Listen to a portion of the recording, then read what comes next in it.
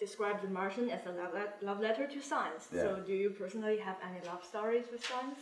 Uh, let me see. Well, in, in a broad sense, yeah. I mean, I, I, I, I love science. I love what it is. I love what it represents, and the um, our human beings' curiosity to know more and to know the truth and to pursue the truth at, at all costs. I think it's I think it's a, a beautiful a beautiful thing. What, what what science means. Yeah. So, what fields of science interest you the most?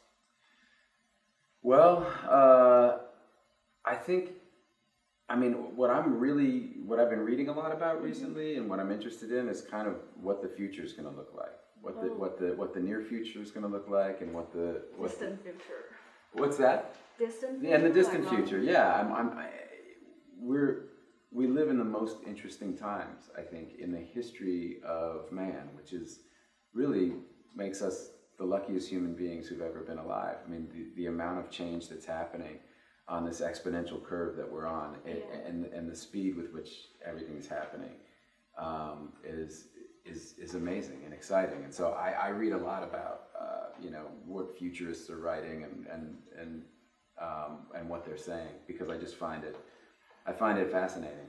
I mean, even like your generation. I was thinking about this this morning. Your generation can't even. I mean, the pace of change is so rapid. Yeah, we're luckier. Yeah, I mean, it's it's just like for you and for my daughters, like they, you know, change is the one constant. You know, it's just Yeah. So everything's ha- happening happening so incredibly rapidly, but that's what you guys are used to. Um, so, how do you perceive the relationship between Mark, Mark Watney and Mars in the in the movie? It's a love hate relationship. Okay. do you think Mars is the villain in the movie? no, I think I think Mars is what Mars actually is, which is uh, which is in, in, indifferent to Mark's plight, and uh, which makes Mars kind of a villain. You know, it's uh, you know the way Mother Nature is indifferent Yeah. to in, indifferent to us all and our He's both harsh and loving. yeah exactly exactly. Mm, so you've mentioned in previous interviews that the script the scripts made you laugh out loud. Yeah. So what exactly are your favorite jokes? Uh, well, there are a couple of them that made it into the movie. Um, one of the lines, um, uh, the, well, the, the line, I'm going to have to science the shit out of this. Yeah. Like that, that really made me laugh. And, um, and then also when he says F you Mars, you know, like Yeah. that, that made me laugh. And uh, um, the Iron Man bit at the end made Oh, me yeah. laugh. Yeah. So th- th- yeah, there were those were three off the top of my head that literally had me Your laughing top out three loud. jokes. Yeah. Okay. In the Martian, your parts were mostly one man show. How does shooting alone affect the dynamics of performing? Uh, that, it was the, the big question I think going in for, for me was what that would be like um, to do all these scenes by myself and and um, and uh, I mean luckily I think I think having Ridley Scott as the director and having Ridley right there the whole time kind of Yeah. uh, solved a lot of my problems. Um, so I so I, it, was less challenging than I thought just because Ridley was uh, such a great director. Mm, so there's a saying on the internet that from saying Private, Private Ryan to Interstellar to um, The Martian, America has spent a ridiculous, ridiculous amount of money to retrieve you. Yes. So which one of these characters do you think faced the worst odds? Uh, well, it's probably a toss-up between between uh, between Mark Watney and And- Doctor Mann in Interstellar. Doctor Mann, I don't know. That ice planet d- did not look like a friendly place to Yeah. live at all. Um, so I, I think e- even you know as bad as it was for Mark, I think Doctor Mann's situation was somehow even more bleak. Who do you think is the most retrieve worthy? Uh, well, they're all retrieve worthy. I mean, Dr. Mann turns out to be pretty selfish and Yeah. uh, pretty horrible, but uh, but you know, I think they were all worth the mission. Yeah, they're all human beings. Yeah. Thank you for your time. Thank you so much.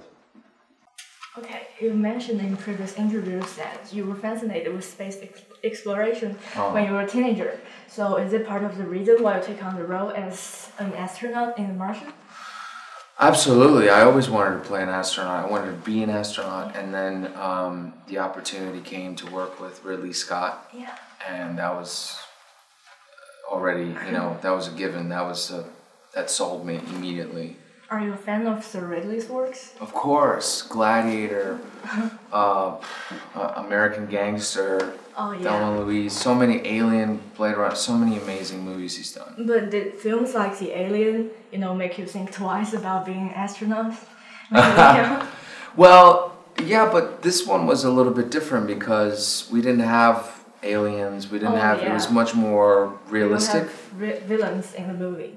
Yeah, exactly. So during the shooting, did you gain any new knowledge about uh, space exploration? Yes. Uh, well, I did a lot of the stunts because everything that I did in Oh. the suit and the spacesuit and everything that was um, that was very informative because it would be um, it would be so dangerous out there. Uh, it's yeah, the it's amazing. Stuff, huh? It's amazing what these guys do for a living. Um, and um, so just the idea of gravity that we don't think about all the time, day by day, um, just to not have it, it sort of blew my mind.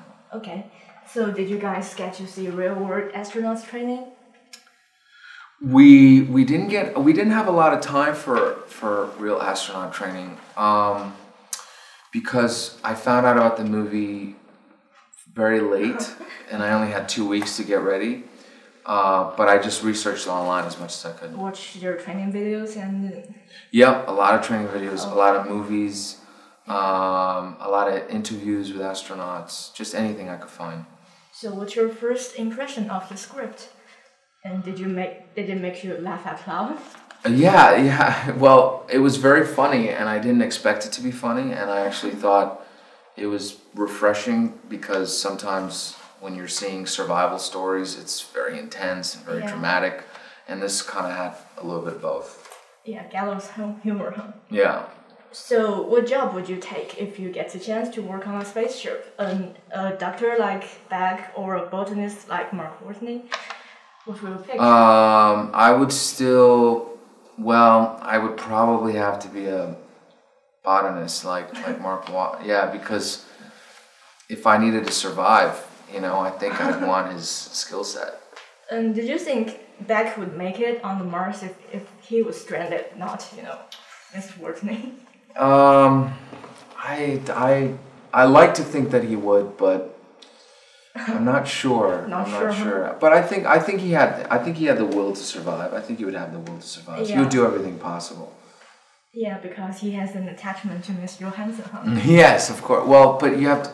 He falls in love with her in the middle on the on the And trip. do you think their relationship is different from ordinary office ro- ro- uh, romance?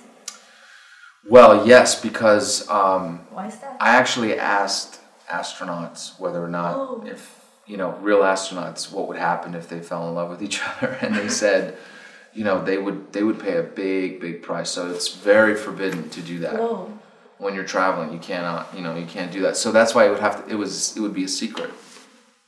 Yeah, but uh, in the end, they kind of just, you know, acquiesced their relationship. Yeah, but in the end, because uh, once it became about life and death, Yeah. and sort of they all just kind of said, you know what, we may never came come back. We have to go save this guy. It's like it doesn't matter at this point. So Okay. They just came out with it. Yeah, so. Um, so the Martian has much less, you know, green screen acting, green screen acting than um, than uh, Captain America. So what's the difference between the, uh, you know, the acting dynamics and more re- realis- realistic things and, uh, you know, The green uh, screen. green screen? It's always it's always so much better when you don't have to use a green screen because Ridley Scott likes to build the sets and he builds everything, you know, all the little details and all the little Yeah, like buttons. Blade and Runner. huh? Yeah, and so for an actor, it's it's amazing. It's like a gold mine because you, you everything is there. In the green screen, sometimes you have to just Improvise. yeah, you have to you have to like just sort of remember everything and, and keep an eye out. Thank you. That will be all. Thank you.